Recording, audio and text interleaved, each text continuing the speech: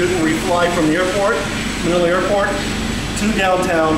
The whole idea is to get a helicopter shoot and get the city of Manila.